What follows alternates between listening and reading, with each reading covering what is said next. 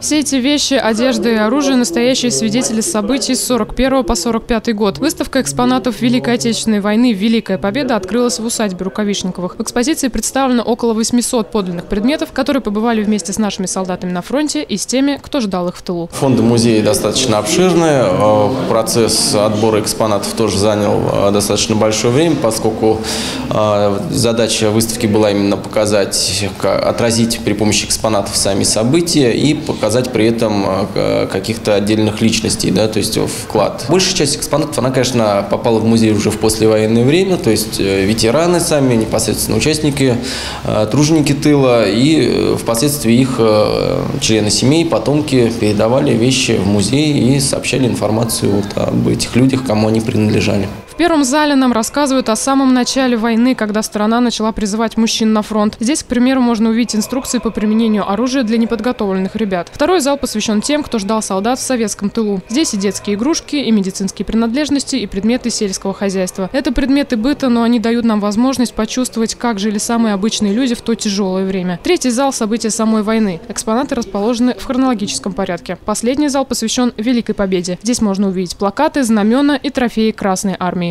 Здесь решается как бы двоякая задача. С одной стороны, сохранить эти предметы, с другой стороны, дать возможность посетителям ознакомиться с ними как можно лучше. Для этого создается специальное выставочное оборудование. То есть вот к этой выставке у нас несколько крупных таких большеразмерных витрин было подготовлено, э, в которых э, как бы и посетители смогут рассмотреть ну, с разных сторон, с разных ракурсов эти э, подлинные вещи.